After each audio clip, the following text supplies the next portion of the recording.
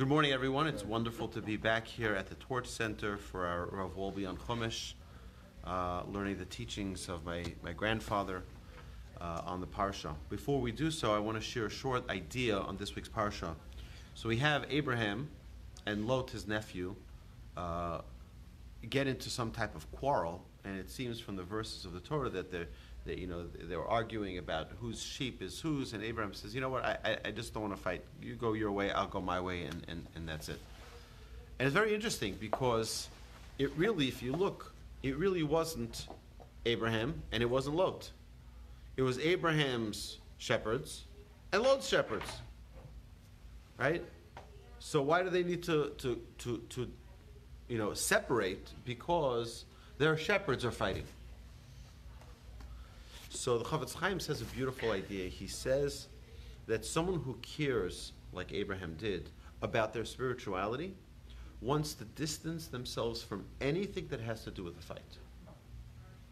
If it has conflict, even if it's second, secondary, because you have it's Lot's shepherds, it's his shepherds. You know what? I want to wait. I don't want to have anything to do with any association with fighting any association with quarrels, with, with, with disputes. It's an amazing, it's an amazing uh, foresight that Abraham had uh, to see, you know what, nothing good's going to come of this. No good is going to come from having this dispute. And therefore, I want nothing to do with it. Eh, you know what, Lot, you take your, your, your shepherds, you go one way. I'll take my shepherds, I'll go another way. I just don't want to have any, any conflict and any dispute in my in I think it's so critically important uh, in our relationships, in our in our friendships, in our uh, synagogues, wherever we go, to always have a frame of mind of distancing ourselves from fights, Distance, distancing ourselves from anything that can lead to a dispute. Stay away from it. Abraham says, "I just don't want it." So resolve it, this and that. Some things you're never going to, you know, it's like we all know that everyone has triggers. They have triggers. They have things that this is going to it's going to create a fight. So you know what? Stay away from it. Stay away from it. There's no need to always, you know, bring it up just for the sake of truth, for the sake of Abraham doesn't say, you know what, I'm right, you're wrong. Abraham says, you know what, there's a dispute, I'm out. I, I want to leave. I don't want to be part of this. I don't want to be party. Why? So my rabbi said a very, very amazing thing. He said Many people ask for things from the Almighty. They say, Hashem, Hashem, please, Hashem, please help me with this and help me with that. You know, this person needs healing, please help them. This one needs a, a shidduch, they need, they need to find the marriage. This one needs this. Hashem, please help, right? And then they say, how come Hashem doesn't answer my prayers? He says, fighting creates a barrier between us and the Almighty. When we have fights, what it does, it creates, imagine like a, a, a stone separation, a stone blockage that doesn't allow our, our prayers to reach the heavens.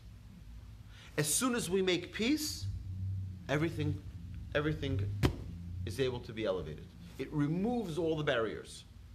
All the blockades get removed when we resolve disputes. Right? it's funny because you, you look at, at what we say in the Mishnah about Aaron. It says, Ohev Shalom, V'rodef Shalom. He would not only love peace, but he pursued peace. Pursued peace means not only my own fights, other people's fights. Most of us say, you know what, they have their own thing, I'm out of it. Leave me alone. I don't want to resolve it. Right? And we see that Aaron said, no, no, no, no, no. I want I want, I love peace so much. I'm going to make sure everybody has peace. I make sure everyone pursues peace right? And, it, and he would go and, and, and, and fix relationships that were broken because of dispute. And he just, he just wanted, he wanted it to be resolved because that brings blessing to the world.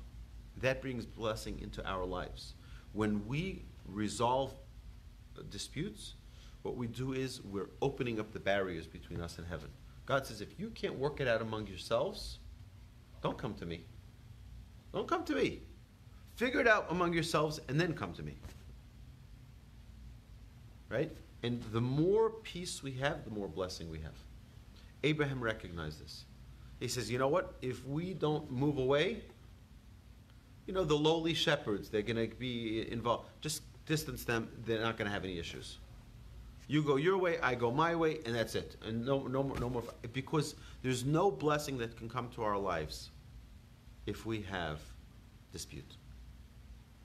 So, with that, my friends, have an amazing Shabbos. Thank you for joining us. We're going to continue now with our live class here and learning more in depth each parsha.